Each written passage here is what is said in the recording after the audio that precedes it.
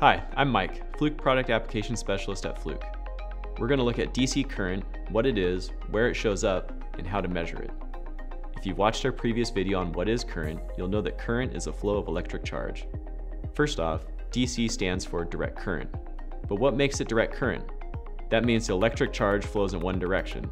The other option is AC current or alternating current, which flows in a sine wave pattern and reverses its direction of flow at regular intervals.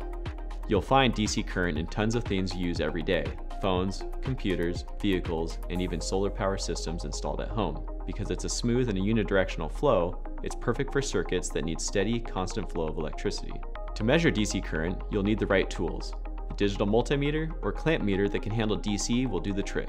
From there, it's simple. Just spin the dial to DC amps and make your connections. To take the measurement, you've broken the circuit and place the DMM in series. If you're using a clamp, just clamp around one conductor and it'll give you the DC reading when you're in DC mode.